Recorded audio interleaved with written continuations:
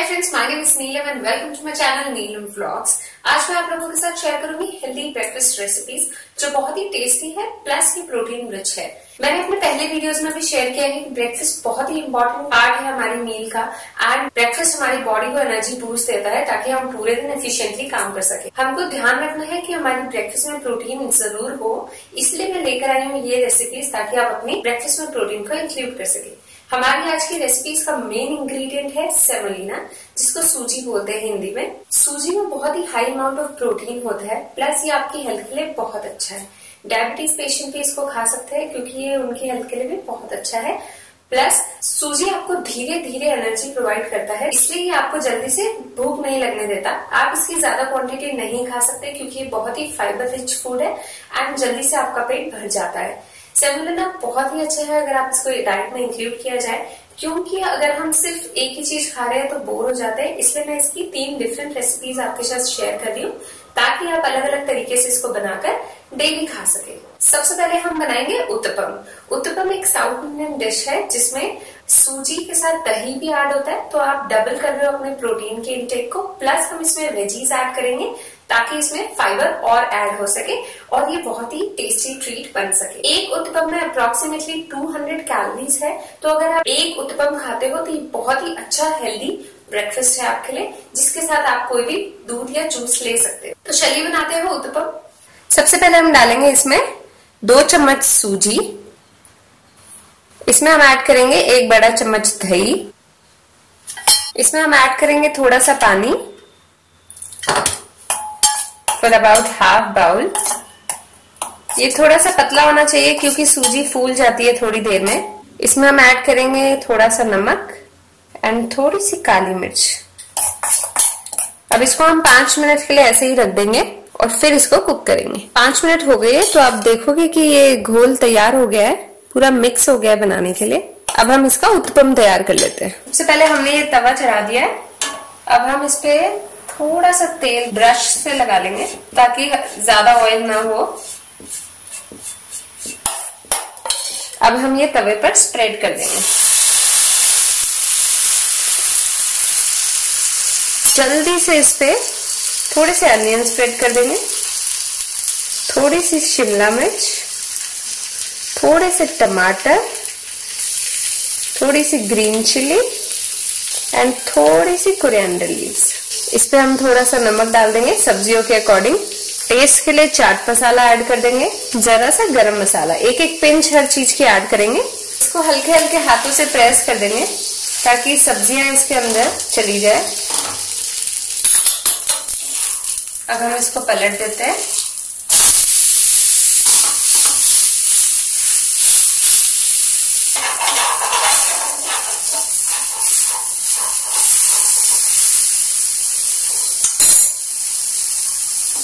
अब हम इसको एक प्लेट में उतार लेंगे। तो ये हो गया हमारा उत्पम रेडी इसको एक पिज्जा कटर से फोर पीसेस में कट करके आप सर्व कर सकते हो। ये एक बहुत ही टेस्टी ट्रीट है। प्लस क्योंकि हमने इसमें बहुत सारे वेजिटेबल्स ऐड किए tomato onion and capsicum plus green chillies and coriander इन सारी चीज़ों में बहुत हाई फाइबर होता है प्लस ये आपको फुल रखता है। सूजी में बहुत हाई अमाउंट ऑफ़ प्रोटीन होता है एंड कार्बोहाइड्रेट होता है। ये बहुत ही लाइट वेट फ़ूड है ये इजीली डाइजेस्ट नहीं होता है, इसलिए आपको लॉन्ग टाइम तक फुल रखता है एंड ये आप ज़्यादा नहीं खा सकते, क्योंकि इससे पेट आपका बहुत जल्दी भर जाएगा। दही हमने इसमें ऐड किया जिसमें हाई अमाउंट ऑफ़ प्रोटीन होता है। तो ये प्रोटीन पैक्ड ब्रेकफास्ट है आपके लिए, जिसमें हमने बहुत लेस ऑयल यूज़ किया है एंड ये बहुत ही टेस्टी ब्रेकफास्ट है। अब हम कर लेते हैं अप्पे बनाने की तैयारी, जिसमें सबसे पहले तो हम लेंगे दो चम्मच सूजी इसमें हम ऐड करेंगे एक बड़ा चम्मच दही अबाउट हाफ़ कटोरी पानी। इसमें हम ऐड कर देंगे अबाउट आधा चम्मच नमक black pepper about half spoon इसमें हम ऐड करेंगे one spoon of onion one spoon of capsicum one spoon of tomato थोड़ी सी green chilli according to your taste थोड़ी सी धनिया पत्ती अबाउट वन स्पून अब इसको मिक्स कर लेंगे। इसमें हम about one pinch of soda add करेंगे, जिससे हमारे अप्पे बहुत सॉफ्ट बनेंगे। इसमें आप चाहो तो ग्रेटेड कैरेट भी ऐड कर सकते हो, उससे भी वेजिटेबल्स की क्वांटिटी इंक्रीज हो जाएगी। अब हम अपे बना लेते हैं। ब्रश से हम थोड़ा थोड़ा तेल लगा देंगे, ताकि ये चिपके नहीं एंड बिल्कुल लेस ऑयल में हमारे अप्पे तैयार हो जाए। इसको थोड़ा सा गर्म होने देते हैं। अगर आप चाहो तो इसमें जरा सी सीजनिंग भी ऐड कर सकते हो। जैसे कि मैं मस्टर्ड सीड्स डाल रही हूँ इसमें। ये थोड़े से टेम्पर्ड हो जाएँगे ताकि ये सुंदर दिखेंगे। अब मस्टर्ड सीड्स फ्लटर करना स्टार्ट कर चुके हैं। तो अब हम इसमें ये घोल डाल सकते हैं।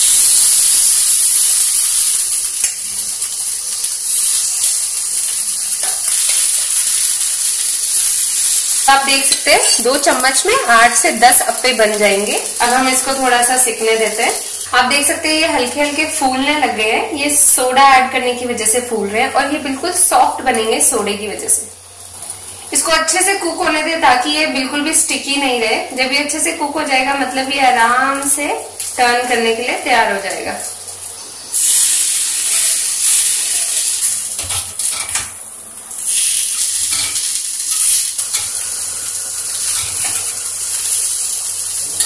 अब ये दूसरी तरफ़ तक सीख जाए, तब तक हम इसको ऐसे ही रहने देंगे। दो से तीन मिनट में ये दूसरी तरफ़ भी सीख जाएँगे, तब हम इसको निकाल लेंगे। बस अब ये सीख जाएँगे, अब हम इसको निकाल लेते हैं।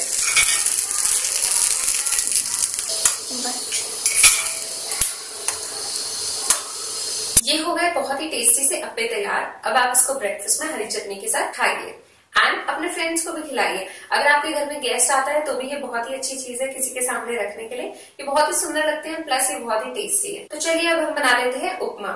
उपमा बहुत ही कॉमनली बनाया जाता है। अगर हम बीमार हो तो भी इजिली डाइजेस्ट होने के लिए उपमा प्रेफर किया जाता है। बहुत ही लाइट वेट फ़ूड है।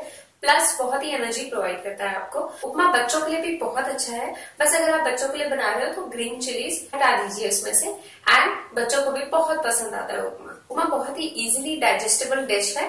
प्लस ये बहुत ही टेस्टी लगती है अगर आप मॉर्निंग में गरम गरम इसको खाते हैं। तो चलिए आप बना लेते हैं उपमा। उपमा बनाने के लिए सबसे पहले हमने एक पैन ले लिया है, जिसमें हमने थोड़ा सा तेल लगाया ब्रश से। इसमें हमने मस्टर्ड सीड्स डाले टेम्परिंग के लिए। अब हम इसमें ऐड करेंगे one spoon of onion one spoon of capsicum इसको सॉटे कर लेंगे अच्छे से। इसमें हमने बहुत थोड़ा तेल यूज़ किया है। सिर्फ़ ब्रश से यूज़ किया है। तो इसमें बहुत लेस ऑयल है एंड ये बहुत ही हेल्दी उपमा बनेगा। प्लस ये बहुत टेस्टी बनेगा आपके ब्रेकफास्ट के लिए। अनियन के ट्रांसलूसेंट होने के बाद आप इसमें टोमेटो ऐड कर दो। About one spoon of tomato आप चाहे तो इसकी क्वांटिटी बढ़ा सकते हैं।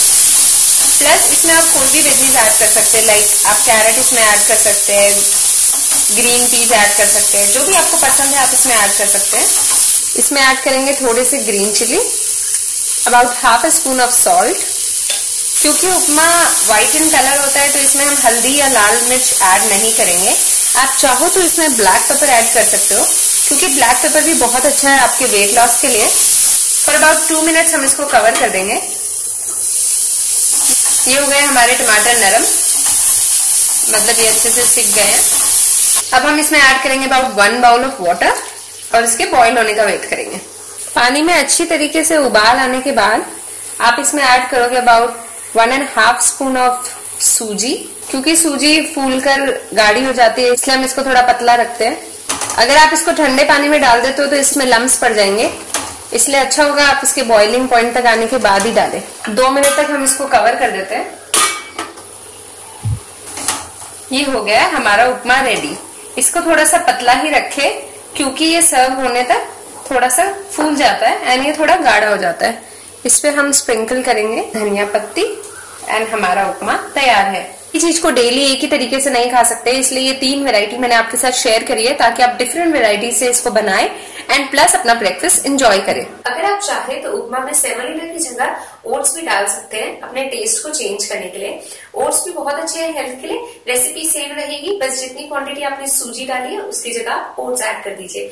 तो हो जाएगा आपका ब्रेकफास्ट तैयार। एंजॉय करिए अपने ब्रेकफास्ट को and stay healthy so thank you very much ये वीडियो देखने के लिए। कमेंट करके मुझे ज़रूर बताइए कि आपने ये बनाया एंड आपको कैसी लगी ये रेसिपीज़ अपने फ्रेंड्स एंड फैमिली के साथ भी ज़रूर शेयर करिए। एंड सब्सक्राइब करना मत भूलिए मेरे अपकमिंग अपडेट्स के लिए। Thank you bye